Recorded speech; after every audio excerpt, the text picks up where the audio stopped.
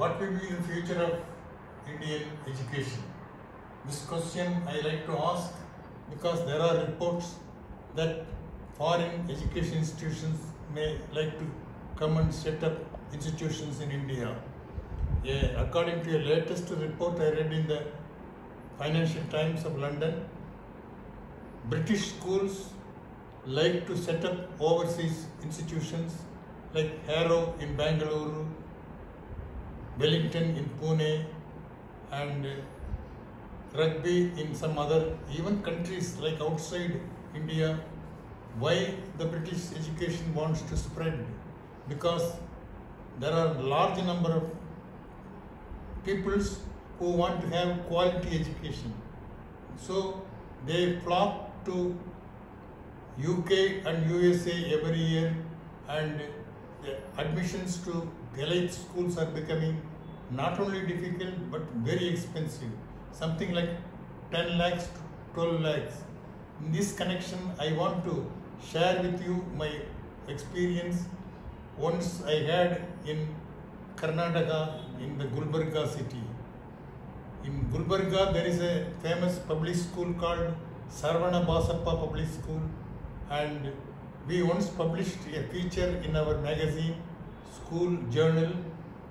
I gave the title an Indian public school, an Indian public school with an Indian philosophy. The founder, Saravana Basappa Appa, was impressed by this heading and he once invited me to travel all the way to Gulbarga to come to go and speak to the children there. What I wanted to convey here is we need to have quality education at the same time with a lot of Indian cultural heritage so that the in foreign schools will come and impressing depending on the brand value they may override the indian heritage education heritage. So once i went in gulbarga i was impressed by the religious background cultural background and the historic background of the institution which had contributed to the hindu muslim harmony for, for some more than 100 years. This i i wanted to convey to our fellow educationists who are now running schools just for the money and I am sad to say that even some billionaire education institutions now run on the advertisement of preparing the Indian children for IAS exams. Is this production of IAS, IPS officers the great achievement of an education for a country like India with such a long philosophical religious history? This is one thing I wanted to draw to the new education policy holders and we have to radically change the system. More number of young men and women want to join the colleges.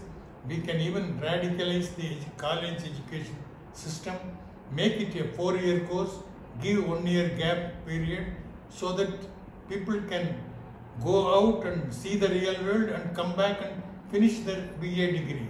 Nothing like running concur with the years so that everybody becomes anxious and tension ridden and suffer for dissatisfaction and non-fulfillment of their aspirations. We need to think liberally, liberal educations, so many courses can be introduced. And, and I have thought about these issues for a long time and we need to have a new education commission, thinkers and the ministers should not depend on the IAS, IPS officers for ideas. After all, government servants cannot make up a society. So we should look for creative minds, creative geniuses to give us new vision and new outlook so that our education shapes a good India, an open society, and we enjoy the fruits of freedom and democracy and a fulfilled individual lives. Thank you.